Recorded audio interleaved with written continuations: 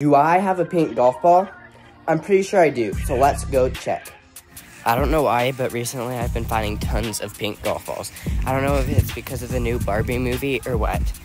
And since this challenge was so easy, I wanted to see how many pink golf balls I could find in one day.